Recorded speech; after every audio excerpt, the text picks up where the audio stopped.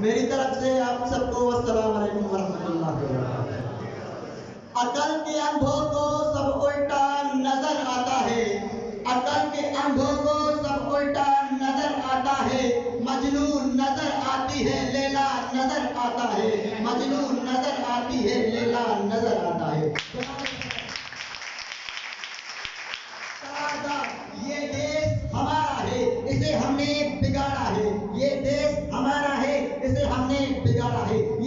पाकिस्तान के जिसकी बुनियादों में हमारे असलाफ का लहू शामिल है। ये वतन पाकिस्तान के जिसमें लाखों अजमतों की पुकार है, ये वतन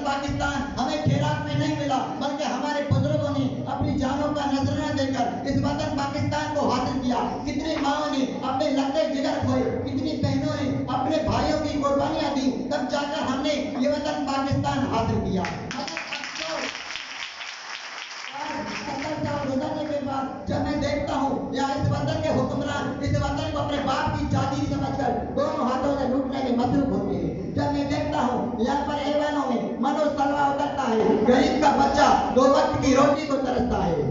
जब मैं देखता हूँ, या मुसलमान तो हैं, कोई मुसलमान नहीं, कुरान तो है, लेकिन रब्ज कुरानी नहीं, मस्जिदें तो हैं, लेकिन रूए फिलानी नहीं। जब मैं देखता हूँ, या कलम बिकता है, अदब बिकता है, सहाफत बिकती है, सकाफत बिकती है तो एटावे के एवज इंसान बिकता है। तो मुझे कहने पर मजबूर किया जाता है ये देश हमारा है इसे हमने बिगाड़ा है। ये देश हमारा है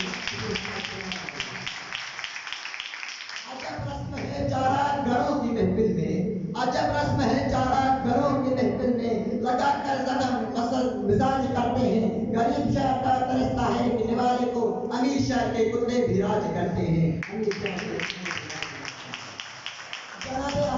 आज जब मैं देखता हूँ, मस्जिदों में नमाजियों के फूल से होली खेली जाती है। यहाँ हर तरफ़ अंधेरा है। अंधेरा रोज़े गुर्बत का अंधेरा अंधेरा जहालत का अंधेरा। जब मैं देखता हूँ, यहाँ पर ज़मीन पर फैल कर गरीब का बच्चा तालीम हासिल करता है। लेकिन अमीरों, वटेरों जागीरदारों का बच्चा एसी वाले कमरे में तालीम हासिल करता है। क्योंकि साईं तो साईं साईं का साईं भी साईं।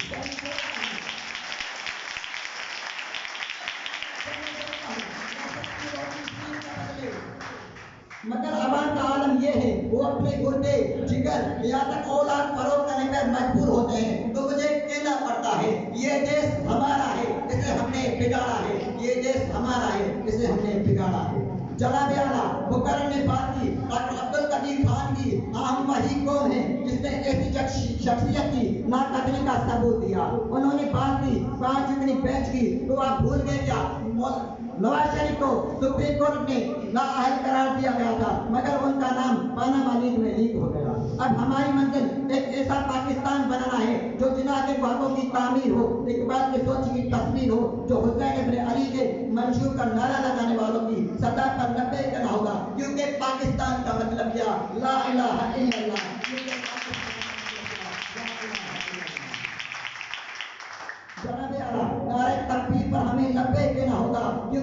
जज्बा है, जो जज्बा तौहीद है, जो नारे तकबीर है, जो लबे आज़ाद की मुस्कुराहट है जो होठों की जगमगाहट है पाकिस्तान, तेईस मार्च का दिन, पाकिस्तान की तारीख में सुनहरी हरूफ से लिखा गया है 1940 में बड़े सगीर के मुसलमानों ने अपने मुस्तकबिल का फैसला किया, जिसमें मुसलमानों के अक्सरियत वाले इलाकों पर मुस्तमिल अलहदा वतन के कयाम का मुतालबा किया गया। बंगाल से लेकर सूबे सरहद तक कश्मीर तक के मुस्लिम लीग के कायदीन और कारकुनान कायदे आज़म की कयादत में इकट्ठे हुए। तेईस मार्च को मौलाना गुलाम है चटवाली सरदार फतेह मोहम्मद करेलवी ख्वाजा अब्दुल रहीम, ख्वाजा मुनीरुद्दीन शामिल थे। अठारह सौ सत्तावन से उन्नीस सौ चालीस तक पर सकीर के अजीम मुसलमानों ने एक नज़रिए के लिए कुर्बानियाँ दी। तब जाकर हमने ये वतन पाकिस्तान हासिल किया। मुसलमान पदान का शिकार हुए लेकिन उन्होंने अपने असूलों को न छोड़ा, अपने इज़्ज़त को नफ्स को मजरूर न किया। वो वो वक्त आ गया था